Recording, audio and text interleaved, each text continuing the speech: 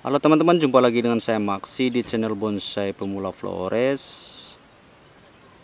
Hari ini saya ingin menunjukkan ke teman-teman beberapa jenis bahan bonsai yang berduri yang bisa saya temukan di alam liar maupun yang tidak tumbuh di alam liar.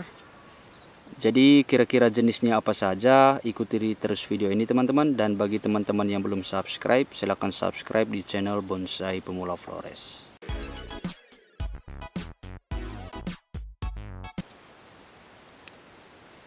Dan teman-teman untuk bahan bonsai pertama yang saya temukan di sini adalah bahan bonsai delima batu.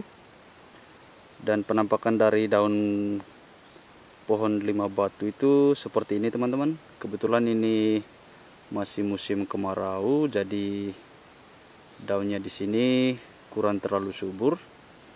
Dan untuk delima batu sendiri dia biasanya berduri seperti ini. Di sini saya menemukan beberapa pohon delima batu teman-teman dan ukurannya besar-besar. Ini adalah penampakan dari daunnya. Dan warna batang dari delima batu ini dia berwarna agak putih dengan ada sedikit corak-corak hitaman pada batangnya ini. Dan selain yang besar ini saya juga bisa menemukan delima batu yang masih kecil seperti ini teman-teman. Ini adalah pohon delima batu yang masih kecil. Dan untuk penampakan lebih jelasnya teman-teman bisa lihat ini adalah model daun dari pohon delima batu ini. Dan dia memiliki duri yang sejajar yang tumbuh di helai daunnya ini. Ciri-ciri daunnya ini dia agak lonjong dengan bentuk bagian depannya ini agak runcing. Kalau untuk model daunnya dia mirip-mirip dengan gulo gumantung tetapi perbedaannya kalau delima batu dia tidak berbulu seperti layaknya pohon gulo gumantung. Untuk budidaya, lima batu ini bisa dilakukan dengan cara stek batang, cangkok, ataupun dengan semai biji teman-teman. Dan di sini saya bisa menemukan daun lima batu yang dengan ukuran kecil teman-teman. Seperti ini, kecil sekali Mungkin kalau kita jadikan bonsai daunnya akan mengecil seperti ini. Kalau kita bandingkan dengan daun besarnya kira-kira dia seperti ini teman-teman. Ini artinya pohon lima batu ini daunnya juga bisa mengecil. Dan yang berikut teman-teman tidak jauh dari pohon lima batu tadi saya temukan pohon landepan Pohon landapan ini juga adalah salah satu bahan bonsai dan pohon landapan ini sama dengan lima batu dia memiliki duri yang cukup tajam teman-teman. Untuk cabangnya sendiri kalau landapan seperti ini dia memiliki cabang sejajar. Demikian pula dengan durinya. Durinya ini memiliki duri yang sejajar. Jadi ini adalah pohon landepan dan ini ukurannya sangat-sangat kecil teman-teman teman-teman bisa lihat. Kalau untuk model daunnya pohon landepan ini dia memiliki daun yang bagus untuk dijadikan bonsai teman-teman. Ini adalah ukuran daun yang kecil. Kalau benar-benar subur daunnya ini bisa lebih besar dari ini teman-teman.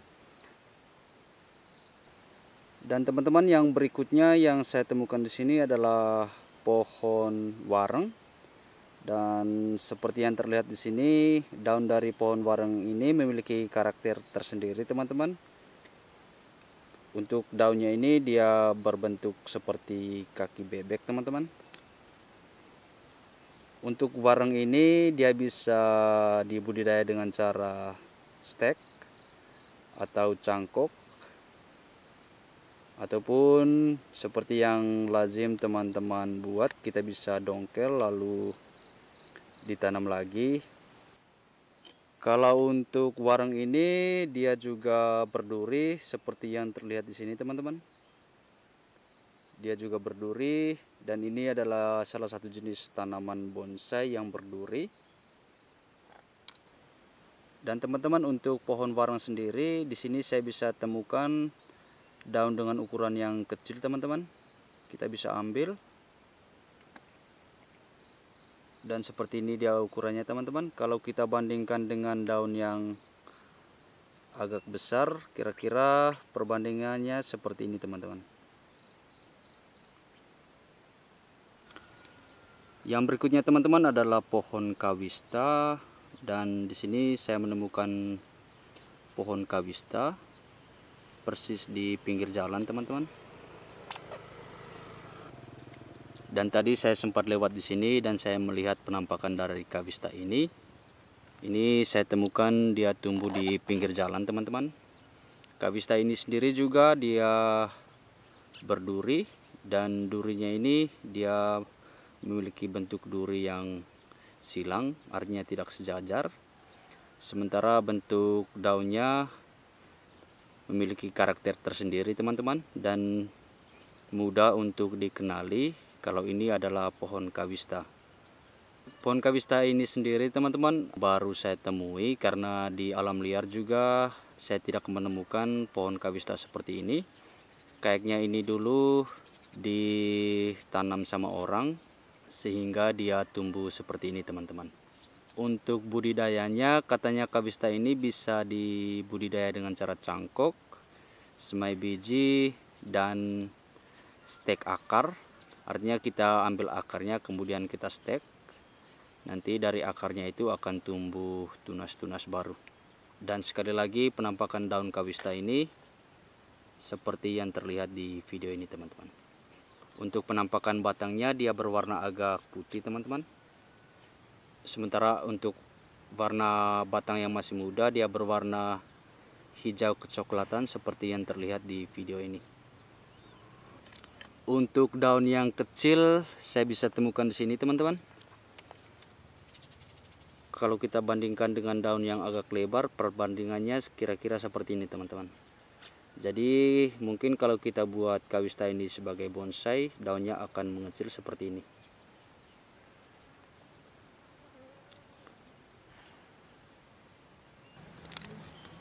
Yang berikutnya teman-teman adalah bahan bonsai seng simbur atau pohon seng simbur. Ini adalah salah satu jenis tanaman berduri yang bisa dijadikan bonsai. Untuk seng simbur sendiri dia memiliki bentuk daun yang agak oval seperti yang terlihat di video ini teman-teman. Dan untuk durinya seng simbur dia memiliki duri yang memiliki tiga cabang di ujung durinya ini jadi duri sensimpur ini lumayan unik ketimbang duri dari pohon yang lain. Untuk sensimpur sendiri kita bisa budidaya dengan cara stek batang cangkok ataupun dengan semai biji. Dan sensimpur ini teman-teman merupakan jenis tanaman yang mudah tumbuh. Seperti yang saya punya ini dulu adalah bahan dari dongkel kemudian saya tanam saja. Dan sekitar enam bulan terakhir ini baru saya grounding lagi. Untuk warna batang sensimpur ini teman-teman dia berwarna cenderung agak putih. Dan untuk batang yang tuanya biasanya dia memiliki karakter batang yang bagus. Dan habitat dari sensimpur ini dia tumbuh di dataran rendah atau biasanya dia tumbuh di pinggir-pinggir pantai. Kebetulan saya tinggal di daerah yang dekat dengan pantai jadi saya bisa dapatin bahan bonsai sayang simpur seperti ini.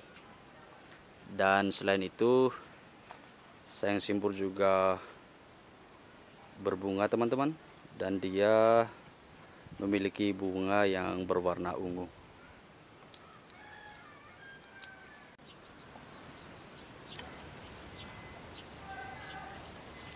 Jadi itu adalah beberapa jenis bahan bonsai yang berduri teman-teman atau jenis-jenis tanaman berduri yang bisa dijadikan bonsai.